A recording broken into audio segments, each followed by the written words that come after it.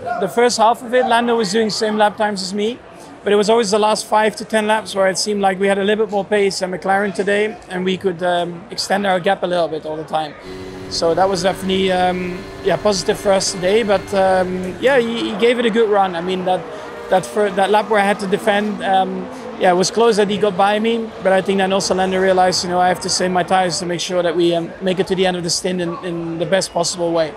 He seems to be your closest challenger at the moment. You guys are constantly going toe to toe now. I mean, what's it like to go up against him, and uh, do you look forward to that more in the future? Yeah, but you know, I'm not surprised. I know how good Lando is, and uh, it's nice to see him there. He deserves that as well. McLaren deserves that, and uh, yeah, hopefully we'll have many more battles. I mean, we, we messed up qualifying on Friday, but every other opportunity we've had, uh, qualifying yesterday, the race yesterday, and again the race today, we've done I think as good as we could always have done. So uh, I'm very happy. Um, a lot of points, two uh, two more podiums. Yeah, not enough to win. You know, Max is still just always that little bit little bit too far ahead for us, but uh, I'm still really happy with the whole weekend. But that fight at the end with Checo, he called it enjoyable. How was it for you? Take us inside the cockpit. Yeah, it was just intense. I mean uh, for, for me, it was a little bit easier, let's say, until the last five laps. I thought that I had everything under control, but then when I started pushing five laps to the end, he was even closer. So I didn't understand why his pace was coming from. And uh, yeah, two laps before the, the checkered flag, he overtook me. I thought everything was yeah uh, done by by that moment, but uh, in the last lap, I had another chance and I and I went for it, and very close to the line. So yeah, very aggressive moves, a lot of respect and I'm, I'm happy that it was with Checo and uh, we could uh, put a good show. I don't think with a lot of drivers uh, you can do this type of maneuvers. You know, it was really tight from beginning to the end, and uh, it was super enjoyable. To be honest, I I did have a lot of fun. Uh, in the end, he ended up getting the podium, uh, but it's how the sport is. From a personal point of view, you've had a really good weekend. You know, you top three in the sprint, fourth today. You must be really happy with how you performed this weekend. Yeah, it was a good performance. I think we were just unlucky with the yellow flag there in the end. But overall, I, I, I think it was a, a good race. Yeah, bad start. Um, I didn't get off the line well, but then after that, the car felt good, good pace. Um, so yeah, I think it was a really strong uh, weekend. Just car had a lot of pace. What happened at the starts? Was there anything? Just couldn't get off the line today. Um, a lot of wheel spin. Yeah, um, tricky. it must give you a lot of confidence for the remaining two races. You guys are back to where you were at the start of the season. Yeah, for sure. Um, you know, we definitely had a really quick car today, back to where we were at the beginning of the year. Yeah, a bit of a, an eventful race. No, we we had again a problem with the clutch in the two starts, uh, like yesterday in the sprint. We we've been struggling with this part all weekend. Um, then uh, the race, honestly, I had a good first stint, but then. Um, yeah, simply the Aston Martins, the Red Bulls and McLarens were a bit quicker than us. We were at least we managed to outrace Mercedes, but uh, we probably missed an opportunity with Charles out of the race to cut even more points on Mercedes. I'm very happy with the, the work as a team we've done this weekend. Um, we purposely decided to compromise a bit the car setup for qualifying to improve our chances to race and have a bit more st- uh, straight line speed. And uh, you know, from P15, made eight positions, um, managed to you know, getting that uh, in that group with Carlos, with the Mercedes, with the Aston for quite a quite a while, and uh, yeah, uh, one of our best races of the season. Good tire management, good pit stop, good strategy. Um, yeah, strong strong team result overall with uh, Esteban in P10 and me in P7. So yeah, very very positive. It seemed like a really tough weekend for you guys. I know how much you love racing here, racing this track in front of these fans. Some of your emotions after that. Uh, I mean, I generally feel okay. Um, it is what it is. So I just, I just, you just have to suck it up. Um, but I, I, got a lot of support from the fans this weekend, which was, which really, really made my weekend. Um, but yeah, the car was, the car just wasn't happy this weekend. So um, I, and I don't know why. Uh, we have a lot of work to do to try and figure it out. Definitely, I could, I could done more. Um, but yeah, sorry for the team and also in the end I didn't able to push maximum uh, for several reasons. But yeah, uh, overall, I mean, P16, P15 to not P9 is okay, still good, and yeah, well done to the team. I think also unfortunate for Daniel that I think you know he lost a bit of in his start. We would have we would score points, so yeah. What were those issues that you were managing? Can you tell us more about those? Uh, I can't say for specifically today, uh, for this one, but it's quite a lot. So, but it's, yeah. Yeah, the difficult, uh, you know, race overall. We we had a clutch issue at the start, the second one, so you know we missed out a little bit on on that. Uh, and after that, the degradation was super high. You know, like yesterday, we we seemed to struggle more than other cars around us, and we have more deg uh, than all the other cars. So we had two to three stops compared to uh, everyone uh, two. Um, and we got a small reward, which you know is uh, is something, but um, yeah, it's not good enough. We just missed pace, to be honest. Um, obviously, don't have a reference to Alex, unfortunately. Um, but yeah, we just struggled a lot with rear overheating, rear degradation, and um, just uh, not quick enough. But from a personal perspective, it's another clean weekend. It's another good weekend. You must feel with a lot of confidence heading into the remaining two races. Yeah, it is. I think this weekend, especially on low fuel, I've had the pace I needed. Um, so yeah, try and carry that forward, delivering uh, in Vegas. Another home race for me, so I'm excited for that and um, go from there. Just you know, typical uh, start situation. Got uh, too tight there.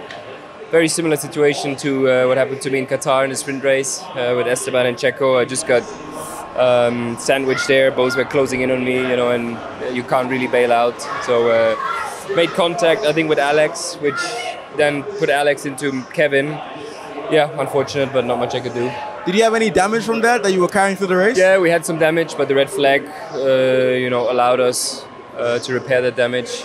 So the car was fine, but yeah, just no performance this weekend. A lot of things happened. Uh, I think firstly it exposed uh, a flaw or something in the in the rules because I didn't feel like we ever did a racing lap, and then you already start the race a lap down. So Oscar and I, uh, yeah, fell victim to that today. I think for me, it's like, okay, two of us today, but if 15 cars had damage and had to do what we did, are they going to start a race with 15 cars a lap down? I don't think so. So uh, I think they need to be a bit more open minded. Uh, so that was frustrating.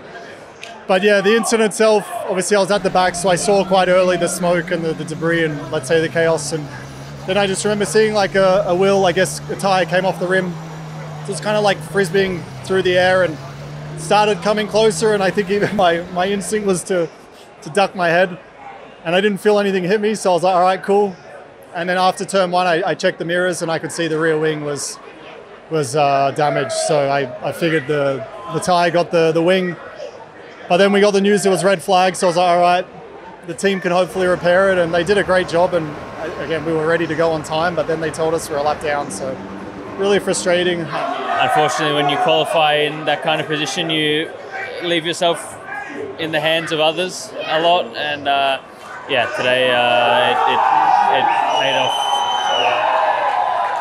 So uh, yeah, lonely race, still a lot of learning. Uh, you know, I can't thank the guys enough for getting the car back together and that's 70 more laps around a, a track I've never been to before. So um, you know, still learnt a lot from that and um, yeah, thank you to the team. Unfortunately, and uh, what's been a really tough weekend. Can you tell us more about why you had to retire the car?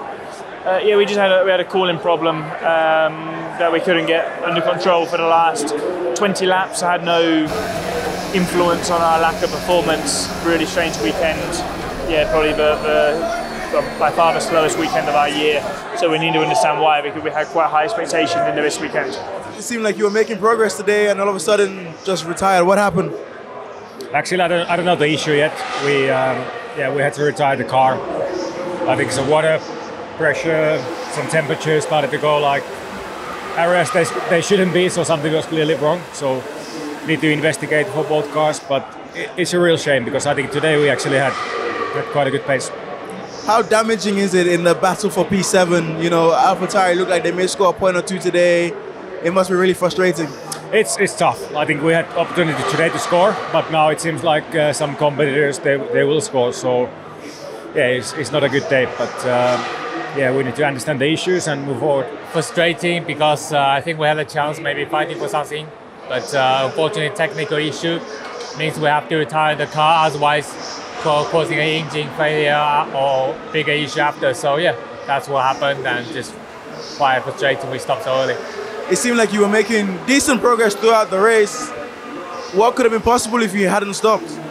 Yeah, I mean, I think we can definitely work together, maybe try to score some points for either one of two cars. But uh, unfortunately, we didn't take the chance when there was asked for taken. So yeah, uh, we need to just turn it around next week or next time out.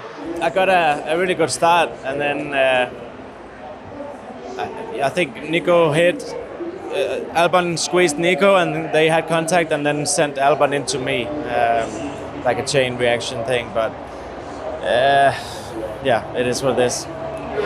had a great start. I think it was the best one on the grid. Uh, put alongside the two Haases. Felt like we were pretty much almost there, overtook them. Um, but I, think the, far, the, the, car on the left, the far left, was likely a bit blindsided. Started to move across, but obviously there's myself and another Haas in between. Um, yeah, it was uh, one of them ones. It's happened before. Uh, nothing we can do. Just frustrating, obviously, just because we're in a championship battle. We can't really lose out on points like that. And um, we kind of opened up the race for, for the others to score points. Well, it's very easy what happened. I turned into turn six, everything was fine, and then you can see I basically lose the wheel, the wheel because there's no power steering anymore, so the steering wheel feels extremely stiff. Um, then I go straight. Then the engine stopped for safety reasons, which make the rear wheels blocked, which make me spin. Then I touched the wall. I started to start the car again. I did. I did 20 meters, and then exactly the same thing happened. So that's it. Moving on now, there's still two races to go. I mean, what do the next few days look like for you? How do you move on from this?